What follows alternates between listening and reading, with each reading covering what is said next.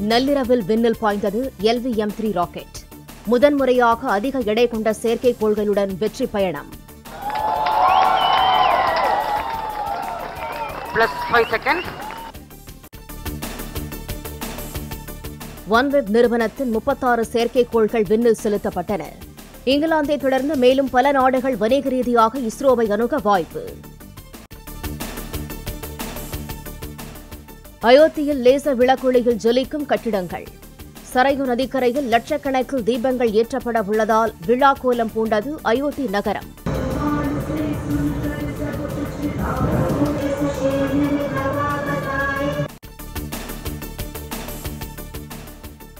தீபாவளியை முன்னிட்டு தலைநகர் டெல்லியில் மின்ஒளியில் ஜொலிக்கும் அரசு கட்டடங்கள்.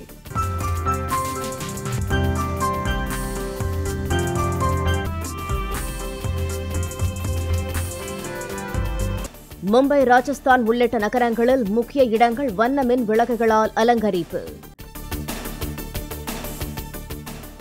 தீபாவளி பண்டிகையை கொண்டாட சென்னையிலிருந்து சொந்த ஊர்களுக்கு புறப்பட்ட மக்கள். சென்னை திருச்சி நெடுஞ்சாலையில் போக்குவரத்து நெரிசலால் ஊர்ந்து சென்ற வாகனங்கள்.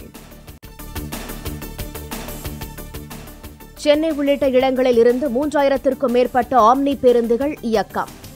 இரண்டே நாட்களில் ஒரு லட்சத்து பதினேழாயிரம் பேர் பயணம் செய்திருப்பதாக தகவல்.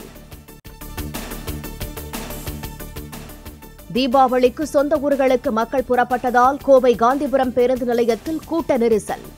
கோயம்புத்தூர் விமான நிலையத்திலும் பயணிகள் கூட்டம். நாளை தீபாவளி பண்டிகை கொண்டாடப்படுவதால் சென்னை மதுரை கோயம்புத்தூர் உள்ளிட்ட நகரங்களில் களை கட்டிய ஷாப்பிங். புதுச்சேரியின் முக்கிய பகுதிகளில் கூட்டம் அலைமோதியதால் ட்ரோன் மூலம் போலீசார் கண்காணிப்பு. சேலம் மாநகரிலும் திருப்பூர் நகரிலும் முக்கிய வணிக வீதிகளில் குவிந்த பொதுமக்கள்.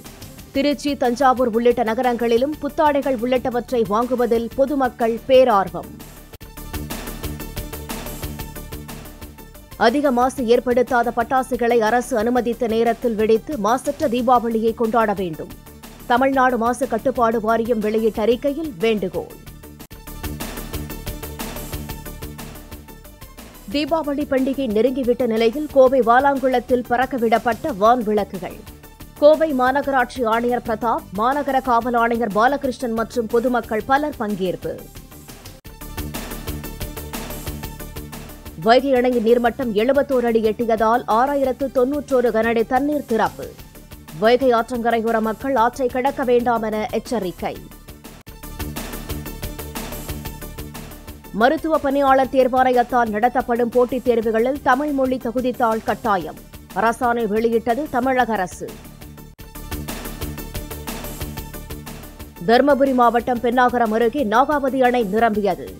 அணையிலிருந்து உபரிநீர் வெளியேறும் பகுதியில் குதித்து ஆட்டம் போடும் இளைஞர்கள். ஒட்டப்பிடாரம் அருகே கனமழையால் கிராமத்தில் புகுந்த மழைநீர். காட்டாற்று வெள்ளம் வடிய ஓடை அமைக்க கிராம மக்கள் கோரிக்கை.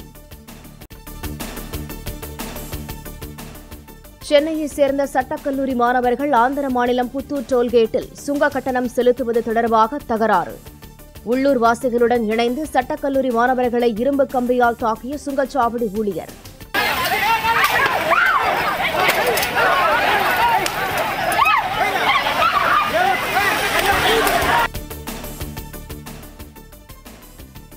டோல்கேட்டில் போலீசார் முன்னிலையில் நடந்த கொலைவெறி தாக்குதலில் காயமடைந்த பத்து பேர் காயங்களுடன் திருவள்ளூர் அரசு மருத்துவமனையில் அனுமதி.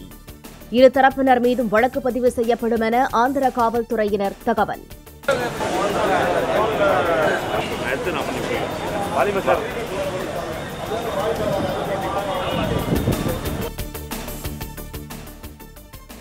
சிவகங்கை மாவட்டம் முழுவதும் வருகிற முப்பத்தோராம் தேதி வரை நூற்று நாற்பத்தி நான்கு தடை உத்தரவு அமல். மருது பாண்டியர் மற்றும் பசும்பொன் முத்துராமலிங்க தேவர் குரு பூஜைகளை முன்னிட்டு உத்தரவு. இலவச திட்டங்களால் அரசு பணம் வீணடிக்கப்படுவதாக பிரதமர் மோடி பேச்சு. மக்களின் வரி பணம் நலத்திட்டங்களுக்கு பயன்பட வேண்டுமென வலியுறுத்தல். ஹிமாச்சல் சட்டசபை தேர்தலில் டீக்கடைக்காரருக்கு பாஜக சார்பில் போட்டியிட வாய்ப்பு. தங்கள் கட்சியில் மட்டுமே சாத்தியமென பிரச்சாரத்தில் பெருமிதம். லாட்டரி மற்றும் மது விற்பனையை மட்டுமே வளர்ச்சியாக நினைக்கிறது கேரள அரசு. ஏழை மக்களிடமிருந்து பணத்தை கொள்ளையடிப்பதாக ஆளுநர் ஆரிஃப் முகமது கான் பேச்சு. உக்ரைனிலிருந்து வெளியேறும் இந்தியர்கள் ஐந்து வழிகளை பயன்படுத்த மத்திய அரசு அறிவுறுத்தல். ஹங்கேரி போலாந்து ருமேனியா உள்ளிட்ட எல்லைகள் வழியாக கடந்து வர வேண்டுகோள். சீன அதிபராக மூன்றாவது முறையாக தேர்வாகிறார் ஜி ஜின்பிங். கம்யூனிஸ்ட் கட்சியின் இருநூறு பேர் கொண்ட உயர்மட்ட குழு இன்று முடிவு அறிவிப்பு. இருபது ஓவர் உலகக்கோப்பை கிரிக்கெட் தொடரின் சூப்பர் டுவெல் சுற்றில் ஆஸ்திரேலியாவை வீழ்த்தியது நியூசிலாந்து. மற்றொரு போட்டியில் இங்கிலாந்து அணியிடம் ஆப்கானிஸ்தான் தோல்வியுற்றது. ஆஸ்திரேலிய அணிக்கு எதிரான போட்டியில் தாவி பாய்ந்து கேட்ச் பிடித்த நியூசிலாந்து வீரர். வேகமாக ஓடிச் சென்று கிளென் பிலிம்ஸ் பிடித்த கேட்ச் கான்பூரை அசர வைத்தது. கடலூர் பாம்பன் மற்றும் எண்ணூர் துறைமுகங்களில் ஒன்றாம் எண் புயல் எச்சரிக்கை கூண்டு ஏற்றம். அந்தமான் தீவருகே காற்றழுத்த தாழ்வு மண்டலம் நிலை கொண்டிருப்பதால் முன்னெச்சரிக்கை. யூடியூப் தளத்தில் ட்ரெண்டிங்கில் முதலிடம் பிடித்த பொன்னியின் செல்வன் படத்தின் ராட்சச மாமனே பாடல். வெளியான இரண்டு நாட்களுக்குள் சுமார் முப்பது லட்சம் பார்வைகளை நெருங்கியது. ஆந்திர மாநிலம் கடப்பாவில் உள்ள அமீன்பீர் தர்காவில் நடிகர் விஷால் வெளிப்பாடு. இங்கு வந்தது தனக்கு பெருமகிழ்ச்சி அளிப்பதாக பேட்டி.